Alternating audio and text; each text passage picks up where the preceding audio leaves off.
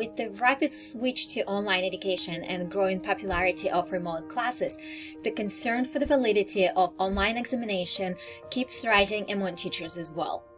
I did some research and found a few programs that could be used for exam proctoring services Respondus, ProctorU, Honorlock, and Proctorio. Some programs might require both institution and students to pay for each exam proctored by their services. Some programs might not work well with the Chrome browser, and with growing distribution of Chromebooks, Chrome browser might be the only browser available for students. So I chose to use the Proctorio services to proctor my exams. Because Proctorio works for Chrome browser and mainly because my institution has subscription to Proctorio services and my students don't have to pay for the exam proctored by Proctorio. In this video, I'll show you how to activate the Proctorio on your Canvas course page and how to create an exam proctored by Proctorio and how to check the Proctorio results after the exam has been administered. I also have a video for students on how to install Proctorio in their Canvas course page. Please feel free to refer your students to that video if they need help with Proctorio installation. The video is located in the playlist Course Navigation Videos for Students on my channel. First, you need to enable the Secure Exam Proctor tab from your course settings. You will be redirected to Navigation menu. The tabs you already enabled will be in the top list, and disabled items are located in the bottom list. Find the tab Secure Exam Proctor. To enable a tab, click on three dots next to it and either click Enable or you can just drag a tab to the top list and place it where you would like to display the tab in your course navigation menu on the left. The tabs are placed in the order they will appear to your students once the course is published. Click Save to save the changes Let's go back home. The Secure Exam Proctor tab will now be visible to your students for activation. Your students will need to add the Proctorio plugin to their Chrome browser. I have a short video for students how to do that in my Course Navigation for Students playlist, and I will also go over the steps in this video. If students don't have Proctorio plugin in their Chrome browser, they will see Secure Exam Proctor tab on the left in the course navigation menu. They need to click on Secure Exam Proctor. It will redirect them to the page with the steps how to install Proctorio in their Chrome browser. Please advise your students to use only Chrome browser. Proctorio will not work with other browsers. Your students will see this page. They need to click on the tab getproctorio.com. Step 2. And to install Proctorio Chrome extension, click on the link, click here. It will take them to Chrome Web Store website. They need to click Add to Chrome to add Proctorio to their browser. Click Add Extension. They will see this message, Proctorio has been added to Chrome. You can verify it by clicking on the Plugin button. Proctorio extension has been installed to their Chrome browser. They can close this tab. They will see that all three steps have been done. They can close this page as well. Click Home. Once the Proctorio is installed to Chrome browser, they will not see the Secure Exam Proctor tab in the navigation menu. It will automatically be activated when you assign an exam proctor with Proctorio. And we will go now over how to set up exam with the Proctorio settings. In order for Proctorio to be activated during the exam, you need to set up exam through quizzes. Click on Quizzes tab and add the quiz. Or you might already have created quiz. I'm going to create new quiz. Type the directions here. Put it in a test assignment group or whichever group you want to set up your exam at. You need to put the time limit in order to Proctorio be activated. I'm going to put 60 minutes. You can allow multiple attempts, or if you leave it blank, the students will have one attempt. Be careful going over these tabs and click or unclick on when students can see the right answers. To enable the Proctorio, scroll down to Quiz Restriction section and click Enable Proctorio Secure Exam Proctor. You will see that Require an Access Code tab was activated and it shows Invisible Access Code. Don't worry, your students will not need the code in order to access the exam. To change the Proctorio settings, click Proctorio Settings tab. Choose the recording options. You can choose Record Video, Audio, Record Screen, Record Web Traffic, or Record the Room. I usually activate Record Video, Record Screen, and Record Web Traffic. Choose Lockdown options. I usually choose only one screen. If you click Disable New Tabs, students will not be able to open any other tabs except the Canvas tab. Be careful with this option because if you allow your students to use other software such as StatCrunch, for example, in statistics class, or the calculator, they will not be able to open the tab.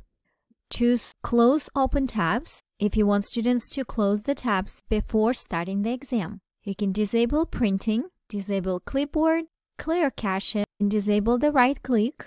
Be careful with that option. The students might need to copy and paste the data set, for example, from exam to StatCrunch. If you click Prevent Re-entry, students will not be able to re-enter the exam if the exam was interrupted. You can choose Verify Video at the beginning of the exam, Proctorio will take a picture of their face to verify that it's them taking the exam the whole time. If you use Record Audio, you will probably want to activate Verify Audio. You can click Verify Desktop, Verify ID. If you activate this option, students will be required to show their ID before starting the exam. Although it might seem like a good option, if students don't have their student ID with the picture, they will have trouble verifying the ID. Usually I don't activate these options. You can activate calculator, basic or scientific, or whiteboard if you need students to write something on the screen. Check your exam settings summary and Proctorio behavior setting. You can choose recommended, lenient, or moderate, or group exam that will disable the multiple phase flag. Or you can modify the settings. You can modify options navigating away, keystroke, browser resize, copy and paste. If you have options in the red area, Proctorio will record the suspicious behavior every time students copy and paste. Or browser resize if they close the window and open it up again. This option is very tricky. If you have the setting in the red area, the Proctorio will flag every time when students move their head or eyes, and you'll have a lot of red flags in the record. So I usually don't activate this option. Multi-face, if it's group exam, put it in the green area. If it's not group exam, then Proctorio will flag if there is multi-face in the camera while students taking the exam.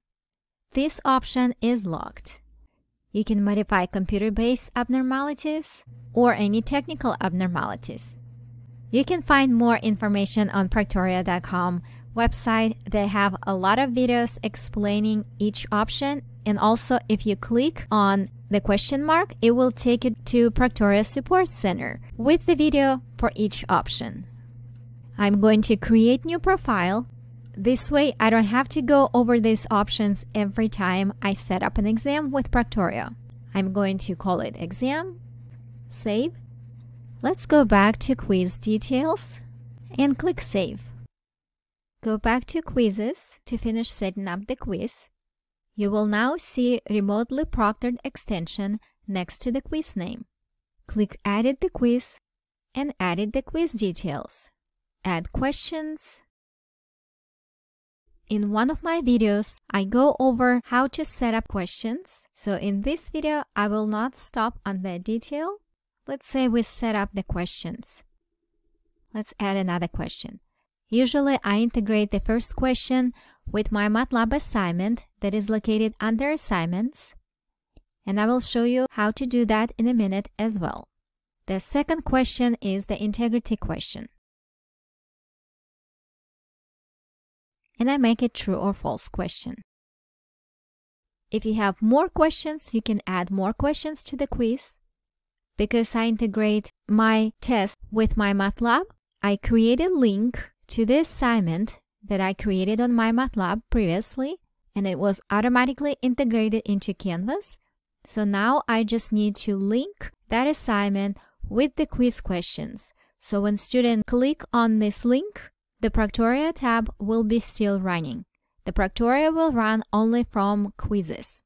Select the test that you want to display the link as.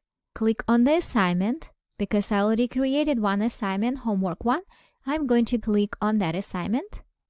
Update question. Now the assignment display as a link in the quiz question. Let's save and publish.